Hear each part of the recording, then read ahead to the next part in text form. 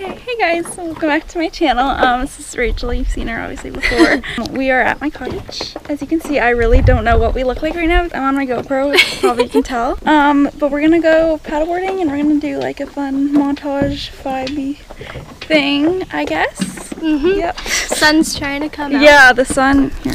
It's a little cloudy, but the sun It's is a little cloudy, but it's, trying. it's been peeking through some of the clouds, so we're gonna try and have, it's like warm too, it's like Yeah. 30 degrees. It's nice and humid. So yeah, yeah, it's humid, so I'm sure the water will be warm. But Mm-hmm. we just got the paddle boards out. Um, there's a spider on one of them. We braved that spider, so we're doing pretty good right now. There's only one Braved it by spider. drowning it. Yeah, we drowned it. So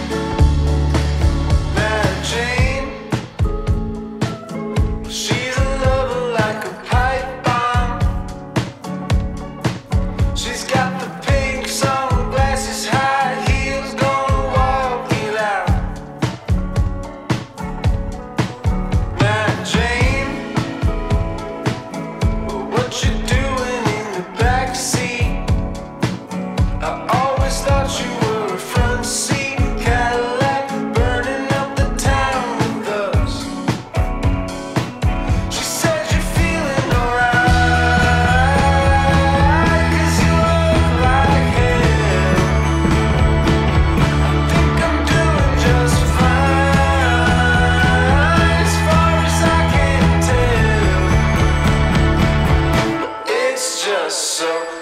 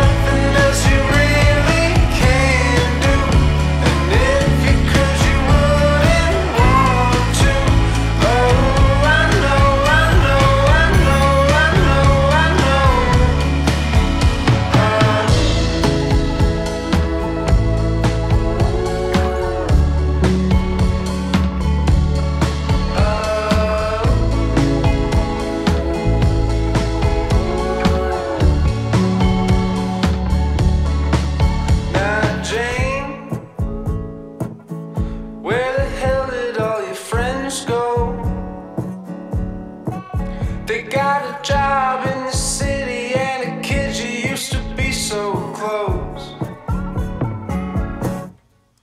Uh, Jane.